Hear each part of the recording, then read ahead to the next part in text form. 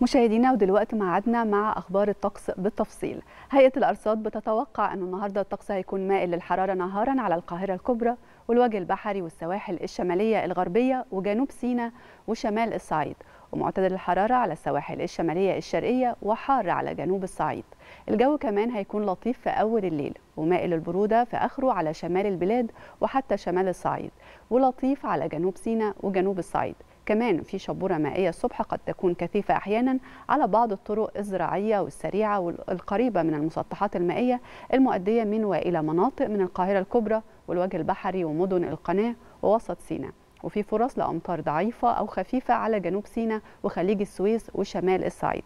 خلونا نعرف تفاصيل أكتر عن حالة الجو النهاردة من الدكتورة منار غانم عضو المركز الإعلامي بهيئة الأرصاد الجوية. صباح الخير يا دكتور. صباح الخير على حضرتك أستاذة لميا وصباح الخير على كل السادة المشاهدين. أهلا بك يا فندم. أهلا بحضرتك وطمنينا عن حالة الطقس النهارده وأهم الظواهر الجوية اللي ممكن نتعرض لها على مدار اليوم. إحنا طبعا في استقرار تام في الأحوال الجوية في معظم محافظات الجمهورية. تعتبر درجات الحرارة حول المعدلات أو أعلى من المعدلات الطبيعية. درجة لدرجتين بالإضافة كمان هيكون في زيادة لفترات سطوع أشعة الشمس بالشكل الكبير خاصة في المنطقة وده اللي بيساعد إن إحنا نحس بالارتفاعات الطفيفة في قيم درجات الحرارة خاصة فترات النهار ومع فترة الظهيرة. عشان كده إحساسي بالطقس خلال فترة النهار طقس خريفي مائل للحرارة على القاهرة الكبرى محافظات الوجه البحري محافظات شمال الصعيد وجنوب بالإضافة كمان طقس معتدل تماما على السواحل الشمالية المحافظات المطلة على البحر المتوسط. طقس حار على جنوب الصعيد هيكون فترة النهار وزي ما قلنا تحديدا فترة الظهيرة. مع شدة الاشعاع الشمسي لكن فور غياب أشعة الشمس ودخولنا في فترات الليل تبدأ درجات الحرارة تنخفض. تنخفض وملحوظ طيب. اللي هي أوقات الفجر فترة الصباح الباكر أجواء مائلة للبرودة. في معظم محافظات الجمهورية وخاصة المحافظات اللي لها ظهير صحراوي بشكل كبير المحافظات الموجودة في شمال الصعيد أو في وسط سيناء لأن المحافظات دي درجات الحرارة في فترة الليل بتنخفض عليها يعني أحيانا في محافظات الصعيد بتنخفض ل 16 و17 درجة مئوية خلال فترة الليل.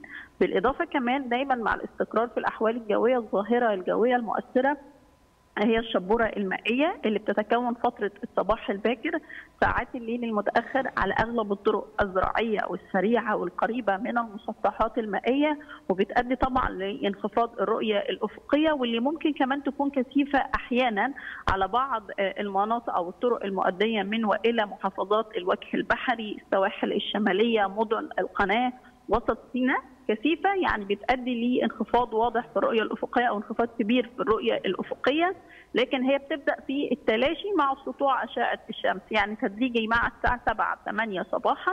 الشبورة المائية بتبدأ تختفي الرؤية الأفقية بتبدأ تحسن على أغلب الطرق. كمان اليوم متوقع أن يكون معانا فرص لسقوط الأمطار خفيفة على بعض الأماكن من سيناء أو جنوب سيناء خليج السويس شمال الصعيد لكن كلها فرص أمطار ضعيفة غير مؤثرة تماما على أي أعمال أنشطة يومية. يمكن لاحظها في أماكن والاماكن الأخرى لا.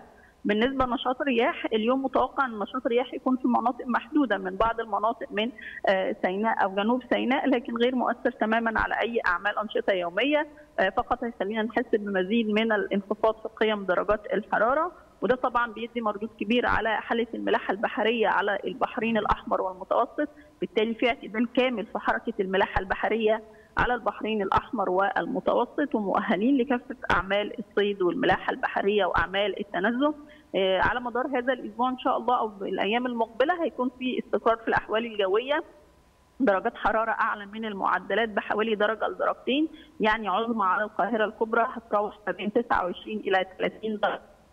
النهار وتظل الشبورة المائية هي الظاهرة الجوية المؤثرة بشكل كبير بسبب وجود امتداد مرتفع جوي في طبقات الجو العليا. بس هننصح كل السادة المواطنين مهم جدا تكون القيادة بهدوء تام فترات الصباح الباكر مع تكون الشبورة المائية نشغل كشافات الشبورة الموجودة في السيارات ونتابع كافة تعليمات المرور وكمان ناخد بالنا بس من نوعية الملابس بشكل كبير لو إحنا بنخرج فترة الصباح الباكر أو في ساعات الليل المتأخر وطبعا المتابعة اليومية للنشرات الجوية مهم جدا في فصل الخريف.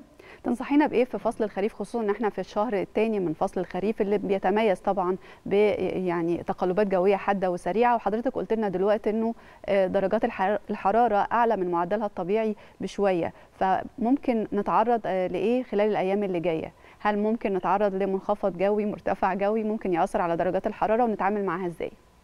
هي الأيام اللي جاية هنتأثر في طبقات الجو العليا بوجود المرتفع الجوي اللي هيعمل على زيادة فترات سطوع أشعة الشمس فبالتالي هيساهم إن إحنا نحس بالارتفاعات الطفيفة في قيم درجات الحرارة خلال فترة النهار. فبالتالي إحنا هنبدأ نشوف فرق درجات الحرارة بين فترة النهار وفترة الليل. فترة النهار فيها أجواء مائلة للحرارة فترات الليل هتظل أجواءها مائلة للبرودة. فرق درجات الحرارة بين النهار والليل لازم ناخد بالنا منه بشكل كبير في نوعية الملابس لأن تغيير نوعية الملابس بشكل كبير بين فترة النهار وفترة الليل وتغيير درجة حرارة الجسم ده ممكن يصيبنا بنزلات البرد. فعشان كده إحنا بنقول يفضل ارتداء الملابس الخريفية وخاصة لو إحنا بنخرج في فترة الصباح الباكر أو بنرجع من أشغالنا في ساعات الليل المتأخر لأن الأوقات دي هنحس فيها بالبرودة. يكون معانا جاكيت خفيف على الأقل لو إحنا بنخرج في الأوقات دي نستديه لو حسينا بانخفاض درجات الحرارة. وطبعا المتابعة المستمرة للنشرات الجوية في فصل الخريف ده شيء مهم جدا لأن طبعا. دايما بيحصل تغير في خرائط الجويه من يوم للتاني. طبعا. بشكرك في النهاية. شكرا جزيلا. الدكتورة منار غانم عضو المركز الإعلامي بهيئة الأرصاد الجوية. ودلوقتي مشاهدينا تعالوا نتابع درجات الحرارة المتوقعة النهارده ونبدأها بالقاهرة للعظمى فيها 30 والصغرى 21 العاصمة الإدارية 30 21 اسكندرية 29 20 العلمين الجديدة 30 19 مطروح 29 18 دمياط 28 21 بورسعيد 28 22 الاسماعيليه 31 20 السويس العظمى فيها 32 والصغرى 21 العريش 28 19 كاترين 24 12 طابة 28 21 حلايب 28 24 شلاتين 32 22 شرم الشيخ 32 24 الغردقة 32 22 الفيوم العظمى فيها 29 والصورة 18 بني سويف 30 18 الوادي الجديد 34 16 أسيوط 31 17 سوهاج 32 18 قنا 34 19 الأقصر 33 18 وأخيرا أسوان العظمى فيها 34 والصغرى 19